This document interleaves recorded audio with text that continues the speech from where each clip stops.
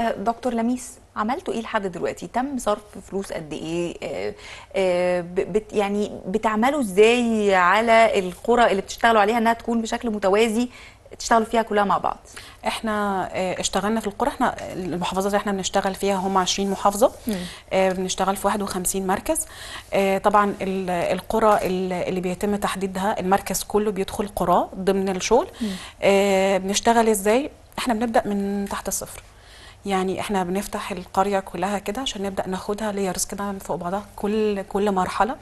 فبنبدأ بالصرف وبعديها المية والكهرباء والألياف الضوئية. إحنا بنت... يعني إحنا كنا مستهدفين إن إحنا نوصل لهم أحدث حاجة في ال... في ال... في الاتصال وفي ال... وإن هم يبقوا على اتصال لأن في قرى حرفيا كانت معزولة عن العالم بسبب ان ما عندهاش آلية اتصال. فكان كل الجهات بتشتغل في نفس الوقت على التوازي.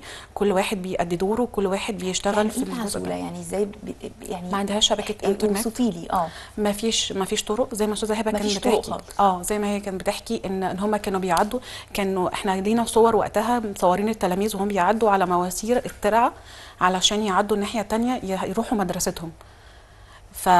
فدي حاجة. ما فيش طرق معنى كلمة ما فيش طرق بيبقى مجرد ممشى صغير. فانت ما فيش مساحة إن توصلي لهم خدمات. آه ما فيش انترنت ما فيش أبراج تليفونات محمولة ما فيش أي حاجة. فهم بيبقوا فعلا معزولين ما يعرفوش حاجة عن العالم ما يعرفوش إيه اللي ممكن يكون في بره إزاي يطوروا من نفسهم. في ناس كانت بتسعى وبتحاول و... وده كان فوق طاقتها لمحدودية دخلهم و... وفكرهم برضو. ف...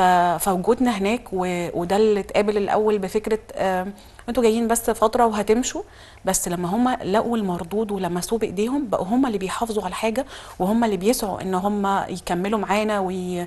ويراقبوا ويبقوا متأكدين إن الحاجة تتعمل صح ويبعتوا لنا صور آه أنتوا بتعملوا حاجة في المكان الفلاني آه طيب هم هنا ناقص حاجة محتاجينها إن هي تبقى موجودة أو خلوا بالكم من حاجة فبقى هو الرقيب نفسه على. على المشروع اللي بيتعمل هل, هل بتاعه. أقدر أقول من كلام حضرتك إن دي الضمانة اللي بياخدها أو اللي بتاخدوها وأنتم بتشتغلوا على إنه بعد سنوات هترجعوا تلاقوا القرية ما رجعتش لنقطة الصفر مرة تانية؟ ده جزء من الضمانات اللي إحنا يعني اكتسبناها وإحنا بنشتغل الأرض لأن المواطن البسيط ده نفسه شارك في تطوير قريته وده طبعا كان أول مرة إن إحنا يبقى في الدولة بتنزل له علشان تسمع منه في لقاء جماهيري وأعرف أنت احتياجك إيه ولو احتياج خاص فأنا بعمل له آه، توجيه مختلف لو احتياج يخص القرية كلها آه، فبنقول إحنا نازلين بخطتنا هنعمل واحد اتنين تلاتة آه، لو أنتوا شايفين ان لا في في اماكن أو في مشروعات محتاجين ان هي تكون موجودة أكتر أو بشكل مختلف